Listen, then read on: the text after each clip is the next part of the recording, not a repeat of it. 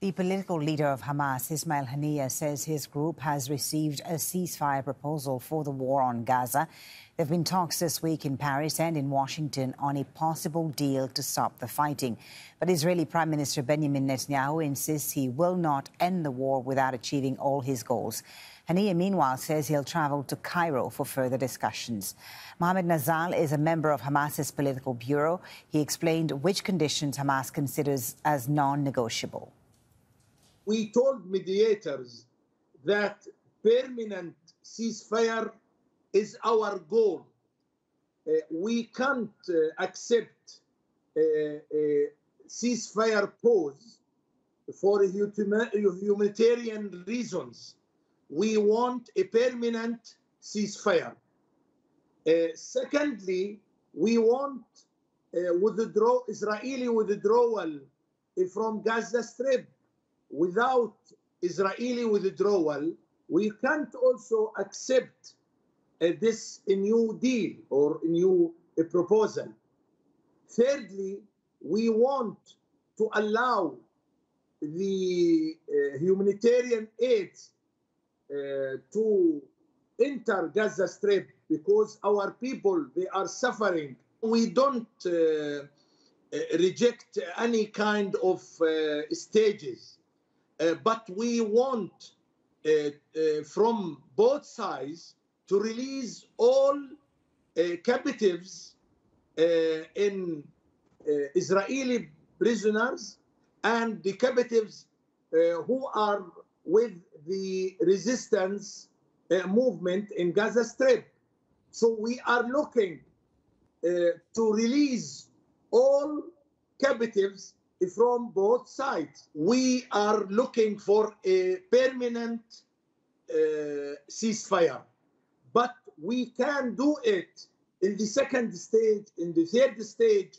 The very important point for us to reach to this permanent uh, ceasefire. Otherwise, it means the battle and the war between us and the Israeli troops will continue.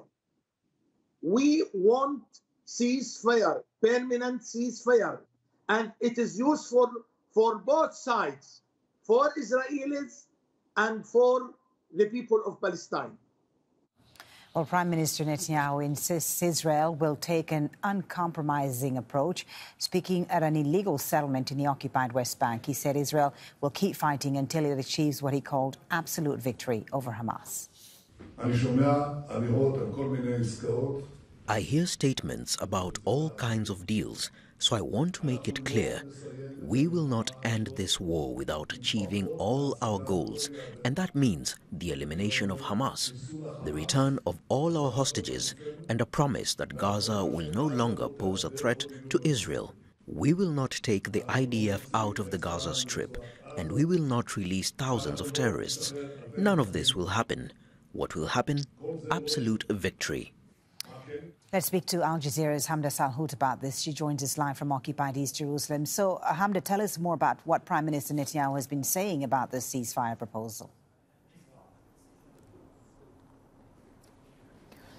Israeli Prime Minister Benjamin Netanyahu's office releasing a statement saying that his position is clear, that there will be any if any sort of deal were to happen, the Israelis are not going to give up large concessions as reported by Israeli media. But additionally, they said that the war is going to continue until an absolute victory. The statement goes on to say that the Israeli military will not be withdrawing from Gaza and that thousands of Palestinian detainees in Israeli jails will not be released. It comes after the Israeli prime minister's defiant remarks at this religious institution at an illegal settlement in the occupied West Bank. Some of the attendees there, a crowd of conservatives and members of the far right. It comes after Itamar Ben Gvir, the country's national security minister, had released a statement saying that if the Israeli government enters a deal that he considers bad or not favorable to Israel, he said that it would be the dissolution of the coalition, essentially threatening to topple the Israeli government if some sort of deal that he says was bad were to be in place. But just a little while later, the opposition leader, Yair Lapid, probably the fiercest critic of Benjamin Netanyahu released a statement of his own saying that if there's a deal that brings back the captives, there will be some sort of safety net for the government, that the opposition will support Netanyahu in that way. So there's a lot of pressure on the Israeli prime minister from all directions, from the very top, from the war cabinet, internationally, from the Americans, and also from his own coalition. Right. And, a recent poll, TV poll in Israel, Hamdah, suggests that public support for Netanyahu is slipping even further. That's exactly right. This poll is saying that if elections were held today, the Israeli Prime Minister Benjamin Netanyahu would not be the prime minister. This survey showed that only 23% of respondents would support Netanyahu, while 41% supported Benny Gantz for the premiership.